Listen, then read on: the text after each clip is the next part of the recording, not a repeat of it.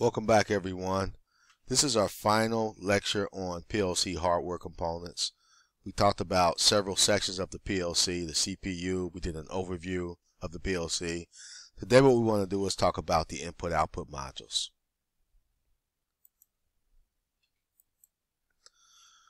There are basically two types of input-output modules. There's discrete and analog. And in the beginning here, we first want to talk about the discrete type of I.O. module. So discrete means you have separate or independent values. So You can have one value or another. Discrete types of I.O. modules use input device that are what we say are, are of an on-off nature. So for example, I can have a switch. A switch can be on or off. Um, I can have any any device that can be considered to be in one state or another state could be a candidate for discrete I.O. On the PowerPoint here, notice this term bit oriented. Bit oriented. Now, I've mentioned in other videos that when we access digital information, the smallest piece of information normally that we can access is 8 bits. 8 bits is called a byte. So typically when you represent information, say you the, the letter A from your keyboard or a number from the keyboard. Uh, usually that's we use 8 bits to represent that information. We use 1 byte. The PLC is one of the few machines that, that's actually bit oriented, meaning the smallest piece of information it can access is an actual bit. And where that's done is if I want to represent the uh, position of a switch, maybe a switch being open, I would have a bit set to 1 or if a switch is closed I would have it set to 0 or probably vice versa would be a better way. If I have a switch that's closed I can set it to a 1. If I have a switch that's open I can set it to a 0. Either way you can see that we're using things that are of, of one state or another state. So typically devices like that, switches and so forth, that can be considered to be in one state or another state is used in this type of I.O. What do input, modules do? What, what are the tasks of input modules? Well, here's a list, and I'll go through some of these.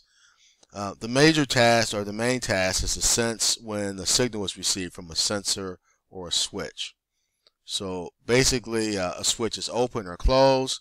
We're going to send a signal to the module.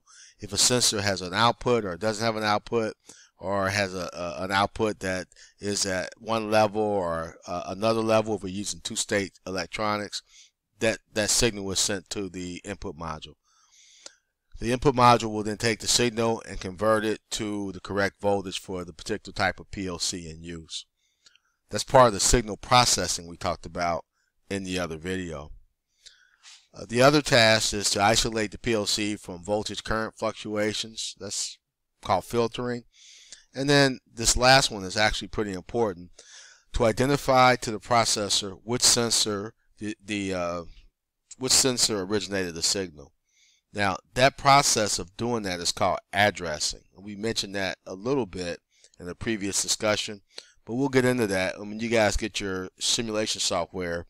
You'll see how addressing takes place. But I talked about in the last video mapping a screw terminal to a bit position in the input or output image table and that's done through addressing. This next slide is pretty important. Uh, this will at some point you will see this on the quiz or exam so if you're taking notes uh, go ahead and mark this slide for exam or quiz. Output module classification. So there's three ways to classify the output module. These are actual devices. These are physical devices. So the first one is a transistor. The second is called triac.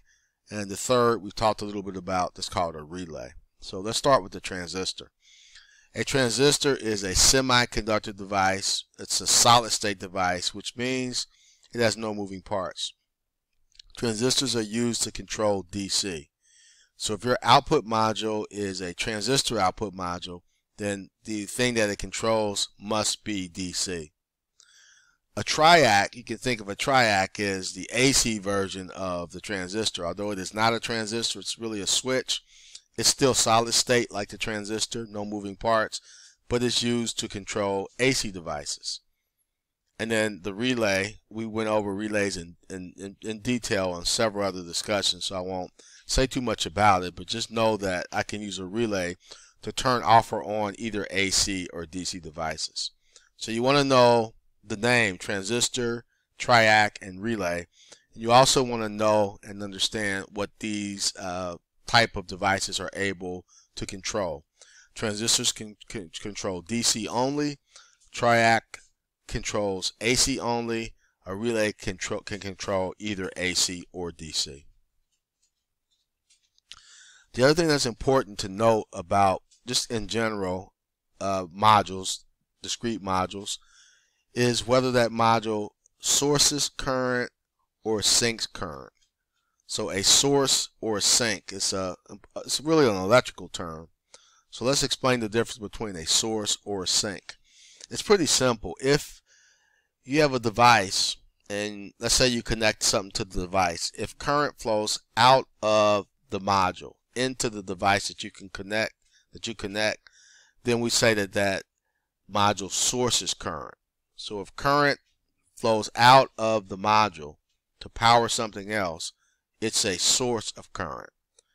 If you hook power up to the device you want to connect up and hook the other end of it up to the to the to the module, then that means power flows from the power source through the device you're connecting up into the input module. And at that point, we say the input module is a sink.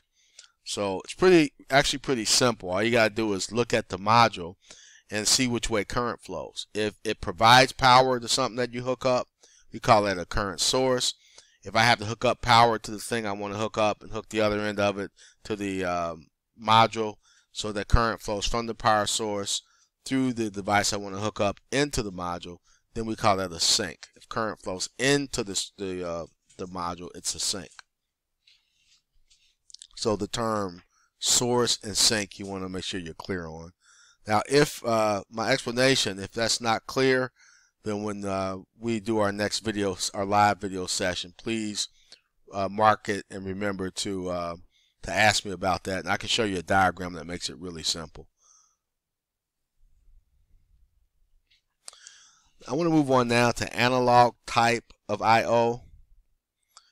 Analog, uh, as you know from our discussion, our first week discussion, most of the quantities that you measure are going to be analog. Well, not all. I mean, if you have a switch hooked to a door and you want to monitor whether the door is open or closed, that switch is going to be open or closed. And in that case, we can use discrete I.O. But if I want to monitor some process, like maybe something that's controlled by temperature or pressure or sound or uh, the intensity of light, any of those things are going to be analog and require that analog signal to be converted to digital. Remember, any machine, any digital device, any machine requires the current the uh, signal to be digital.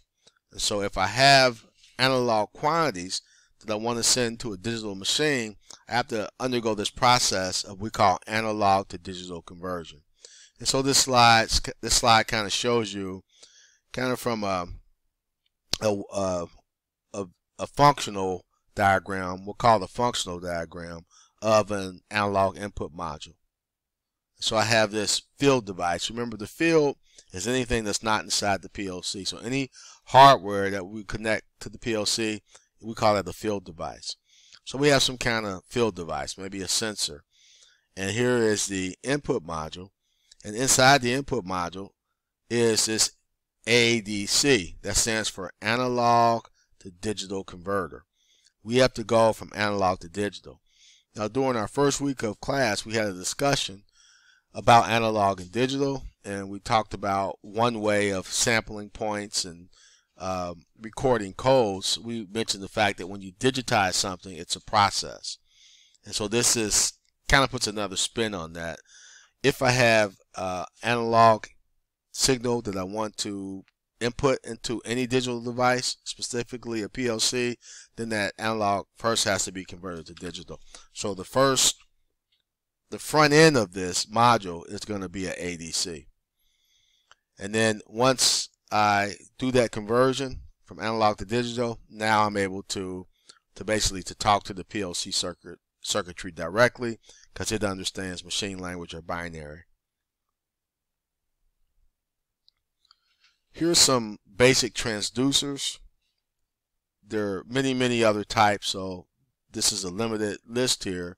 These are probably the main ones that you'll see or use, but as I said in uh, the other uh, video, the last video, there's basically a sensor or transducer for every sense of the body that you have. So anything you can sense, there's some kind of sensor that will mimic will mimic that.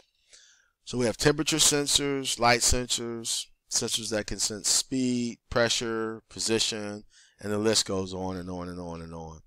But the point is that these are all analog sensors or transducers. So using this, I could not use this with discrete I.O. This would have to be used with an analog input module or output module. And if I'm using analog, then that means that I'm going to have a conversion process taking place.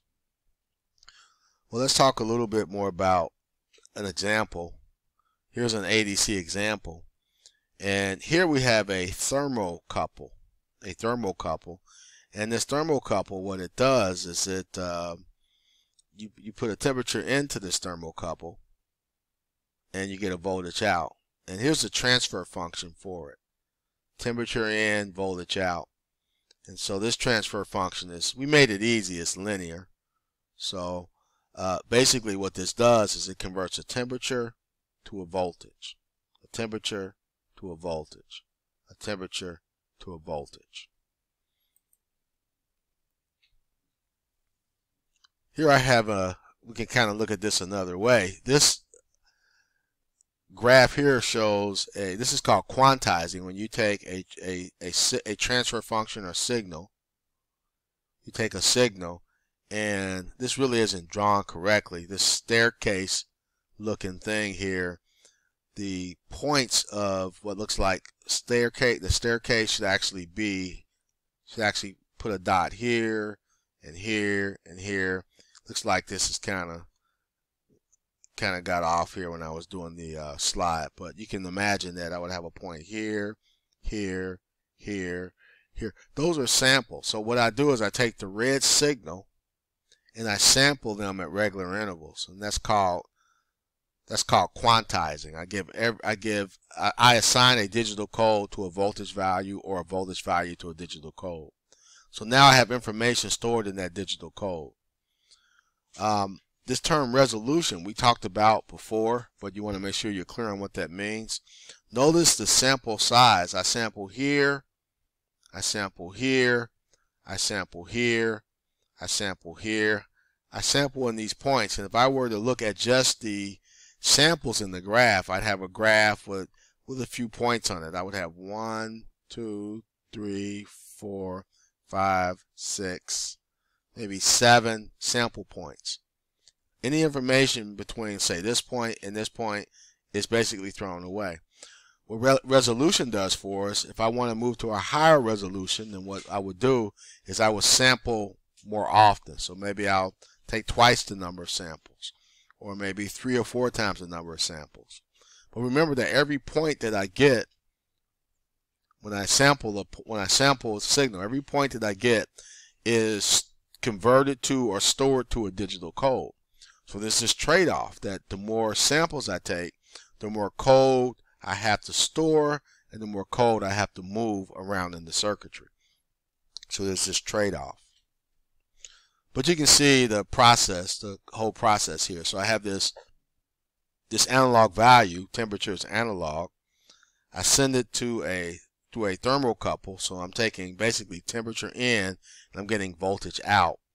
And then what this ADC will do is to take that voltage and it will actually output a digital code. So it makes me think that this graph should be reversed. I probably want voltage here as the independent variable and the digital code as uh, the dependent variable. But I think that you get the idea here. We can look at the entire process. So now I have this picture, if you can understand my picture. I have this this tank and this tank has a level sensor on it. So I can go from this level you can see that that is actually analog not discrete. So I can go continuously I can this level will rise up to some maximum value. I have a fill valve here that can open and close and let the fluid flow into the tank. And over here uh, the PLC and then here they talk about the ADC process. ADC is analog to digital conversion. And then uh, we can go the other way. I can go from digital to analog, which is which is an interesting process. So the complete process, I have an analog signal in, the level sensor, outputs a voltage. The voltage goes into the ADC, analog to digital converter. At this point, I have digital information. This data process, which that can mean a, a lot, but basically your program and whatever else you do to the information from the ADC. Here we're going the other way. Once our data information is processed, we're gonna we're gonna go from a digital. This is the digital to analog converter. We're gonna take it back from digital to analog because the output device, the actuator in this case, it is an analog it is an analog device, so it would need an analog signal. So we can go both ways with this conversion process. We can go from analog to digital or digital to analog. In some cases, in the process of controlling some kind of device, you may actually have to go both ways. Take it from analog to digital and then vice versa, depending on what your what output device you're controlling if this device were not analog, if it were something like a motor that it was either on or off, then you wouldn't need this stage here. You wouldn't need to go from uh, digital back to analog. So hopefully this example makes sense. If not, please ask me questions when we get to a live session. Well, that's it for today. This uh, video is pretty short. Um, as with the other video, there are some documents that I will not go over but you are responsible for. So uh, I'm going to put up some documents as both uh, a Word document and a um, a PDF, and the one that um, goes with this one, we'll we'll put up a memory types document, specification document, and uh, there'll be another one on special modules. So those will all be in module two on the website. I will not talk about those, but on the exam, exam number one, you are responsible for the material that will be on those documents. So make sure you look at those. If you have any issues, questions, or comments about the documents or any of the PowerPoints that we went over, please let me know and I'll uh, set aside some time to meet with you either by video, by phone, email, or whatever uh, works for you guys. Have a good one, and I'll see you next time.